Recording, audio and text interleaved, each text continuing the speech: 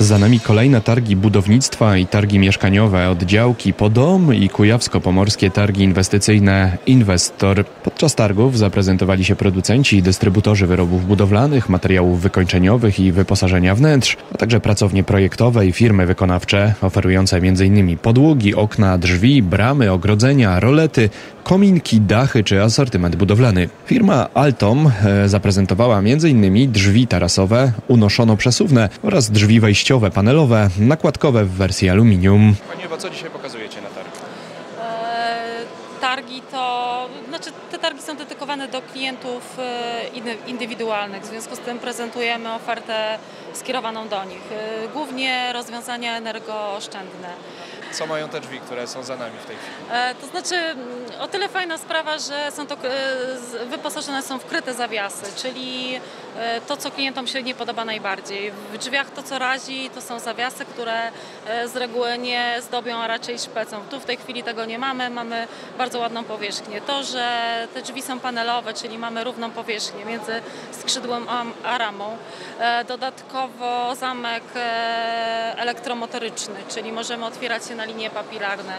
Dzisiaj idziemy w tym kierunku, że automatyka jakby króluje. W związku z tym też idziemy w tym kierunku, nie boimy się rozwiązań nowatorskich. E, Może być tak, że wyjedzie Pan sobie z żoną, załóżmy na Mauritius, przychodzi Pani, która sprząta dom, z komórki, wysyłając SMS-a czy wysyłając sygnał, możemy takie drzwi otworzyć. Tak samo przychodzimy z zakupami, mamy zajęte ręce, wystarczy linia papilarna albo pilot, który nam takie drzwi otwiera. E, To jest, e, jeżeli chodzi o automatykę, oprócz tego kolorystyka, design, forma, to są akurat w wersji aluminiowej, ale są bardzo ciepłe. Współczynnik przenikania ciepła dla takich drzwi to w granicach 0,66, czyli praktycznie można je montować do domków pasywnych. Zatrzymajmy się troszeczkę przy tym designie, o którym Pani wspomniała. Czego szukają klienci? Prostoty, czy może właśnie przeciwnie, czegoś takiego, co efektu wow, y, kiedy ktoś wchodzi do, do, do domu na przykład i drzwi to jest taka wizytówka, można powiedzieć.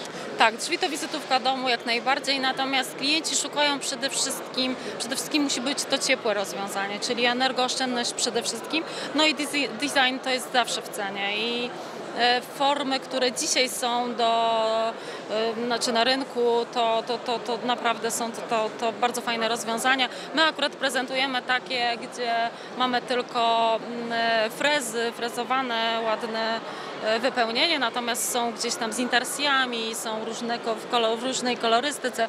Tutaj jak sobie spojrzymy na te drzwi, one mają taką fajną strukturę, czyli niby jest to aluminium, niby jest to malowane. Dzisiaj w ogóle jest tendencja do tego, żeby, e, tak jak Pan powiedział e, na początku, e, jest to e, prostota design, ale poprzez proste rozwiązanie, poprzez fajną formę, poprzez duże konstrukcje w aluminium też możemy zrobić drzwi, które będą bardzo wysokie, czego nie można uzyskać w innym materiale. Także jest to bardzo fajny materiał, jeżeli chodzi o, e, o wyrażenie się poprzez drzwi. Tutaj mamy ultra modny kolor grafitowy. Tak. Każdy sezon pewnie ma swoje hity. Tak. W tym roku rzeczywiście to jest właśnie taka barwa. Tak, w tym roku, w zasadzie od ubiegłego roku powinniśmy schować całą paletę kolorów. To, co się dzisiaj sprzedaje, to jest każdy przychodzi, patrzy, może złoty dąb, może orzech, a potem dlaczego jest to antracyt. I w zasadzie z reguły to jest e, kolor, który się sprzedaje, w związku z tym rzeczywiście dzisiaj jesteśmy antracytowi, ale oczywiście wszystkie inne kolory są jak najbardziej dostępne. Sporo mówiliśmy o drzwiach. Widzę, że też są okna. Na co powinniśmy zwrócić uwagę, wybierając okna do domu, chociażby, no nie wiem, budując, prowadząc jakąś tam inwestycję? Jakie czynniki powinniśmy brać pod uwagę? To znaczy przede wszystkim należy zwrócić uwagę na... Jednak żyjemy mimo wszystko w, takiej, w takim kraju, gdzie e, klimat ma znaczenie. Czyli Taki jednak, mamy klimat. Tak, taki mamy klimat.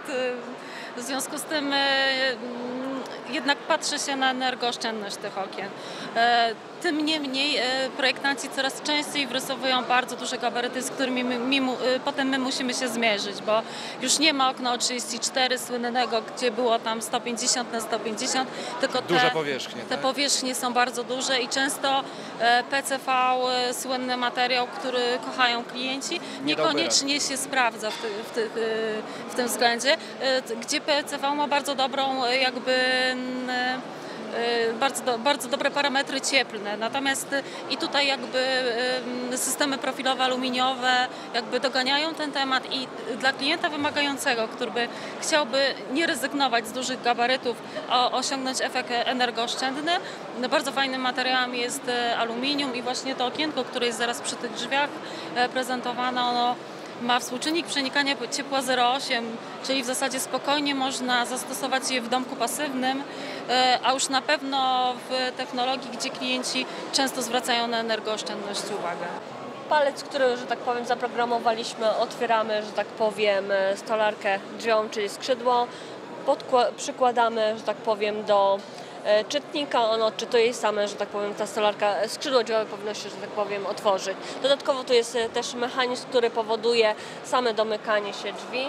Jeszcze raz spróbujemy. Pewnie za długo, wystarczy tylko chwilka, przycisk i Działa. że tak powiem, działa. Zgadza się.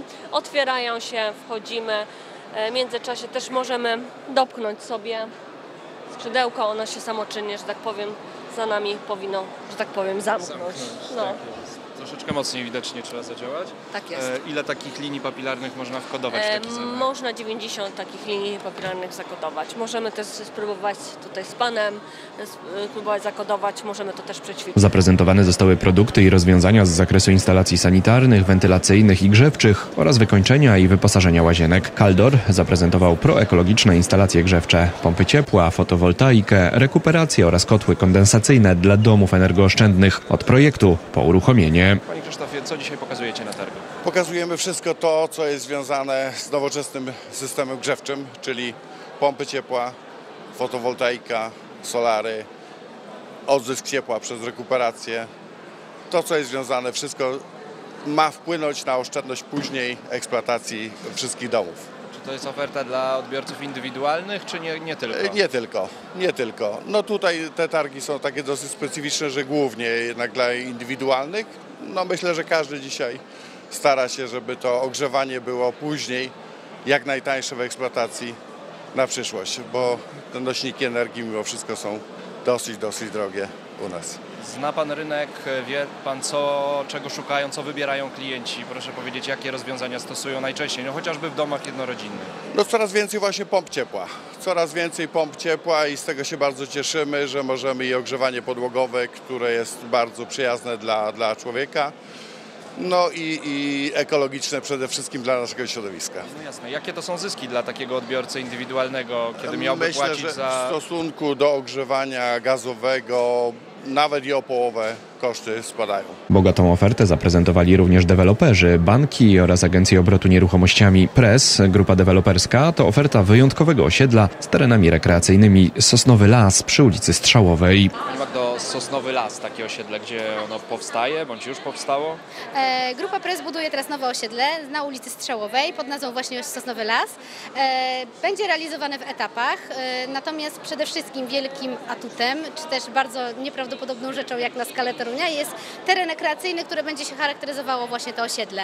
E, Na powierzchni 5,5 hektara terenu realizujemy budynki wielorodzinne. E, Zostaje hektar lasu, który zagospodarujemy na potrzeby rekreacyjne mieszkańców. Znajdą- rozumiem, jakieś siłownie pod chmurką, tak? Takie, tak tego. To takie bym powiedziała najmniejsze rzeczy. Najbardziej spektakularne to y, boiska wielofunkcyjne do piłki nożnej, koszykówki, siatkówki, y, siłownie plenerowe właśnie, y, miejsca do grillowania, ścieżki joggingowe. Całość ma służyć mieszkańcom jak gdyby do wypoczynku, rekreacji dla młodszych i dla starszych. Po otwarciu nowego mostu te tereny na Lewobrzeżu się otworzyły dla Was, deweloperów. Rzeczywiście jest zainteresowanie klientów e, takimi lokalizacjami? E, tak, widzimy już różnicę w tym, że klienci, którzy przyjeżdżają do nas i e, patrzą jak to wygląda i jaki jest e, tutaj stopień komunikacji, w tej chwili bardzo doceniają te lokalizacje. Nieukrywanym atutem również jest cena metra, która w tej chwili jeszcze jest po prostu konkurencyjna.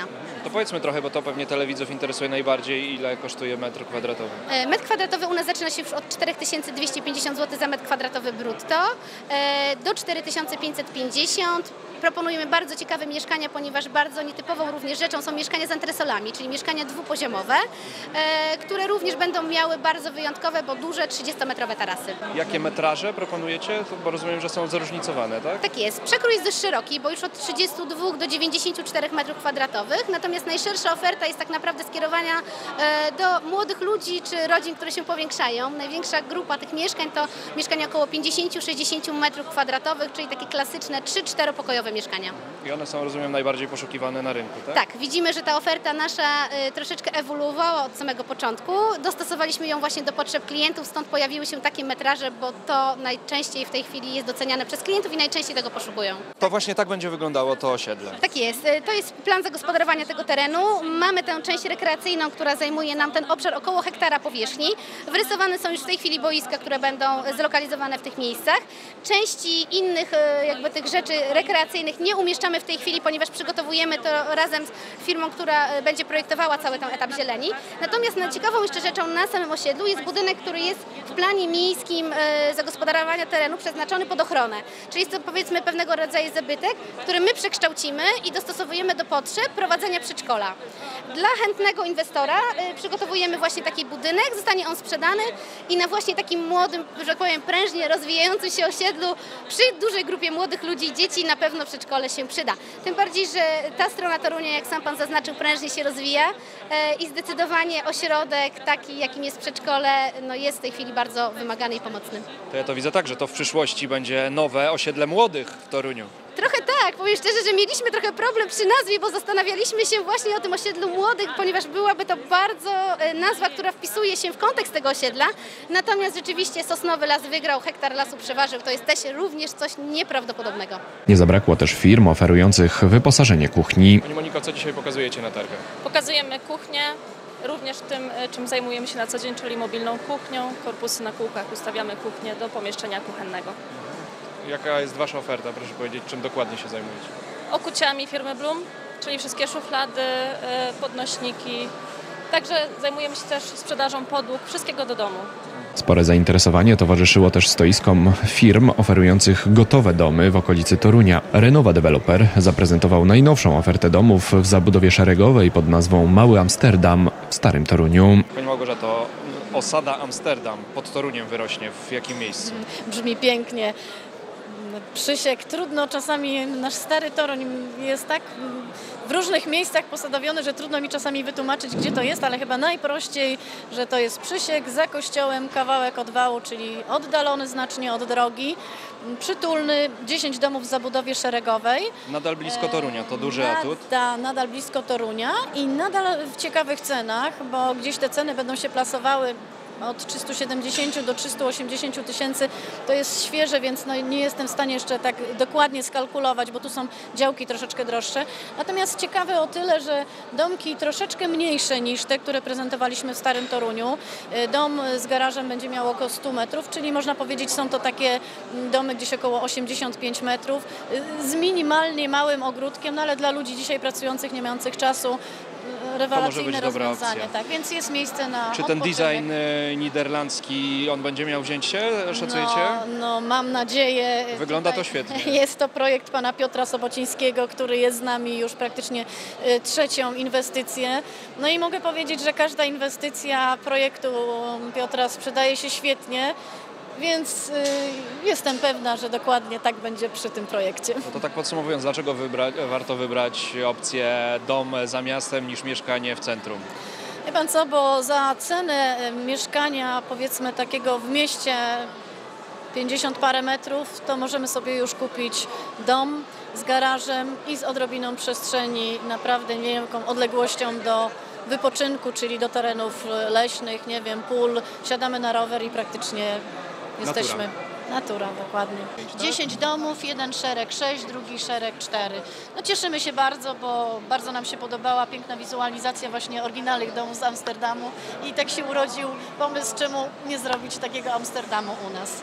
Liczymy na to, że, że no młodzi ludzie e, chcą mieszkać w ładnych miejscach i, i w czymś innym takim, czymś, co się wyróżnia na rynku. E, Cieszy nas to, że no, taką naprawdę fajnym odzewem spotkała się nasza osada Stary Toruń. Wydawałoby się na początku, że no nie wiem, jest to blisko drogi, tak, więc może być to jakiś taki element, który tam klienta, no... Powstrzyma. Ale ja zawsze mówię, każdy klient musi znaleźć to swoje miejsce, tak? Bo jest ktoś taki i dla niego mamy ofertę domu gdzieś daleko, daleko w polu, tak? Duża działka, tysiąc metrów, dom wolno stojący, ale jest ktoś taki, kto jest bardzo czynny zawodowo y, i potrzebuje bardzo szybkiego dojazdu, czasami niezależności od samochodu, co jest ważne, kiedy jest przystanek autobusowy pod nosem, gdzie gimbus staje vis-a-vis, zabiera dzieci do szkoły, gdzie jest przejście ze światłami, tak? Przez, przez dosyć ruchliwą drogę. No to wszystko w jakiś sposób y, punktuje to nasze osiedle i, i mówię...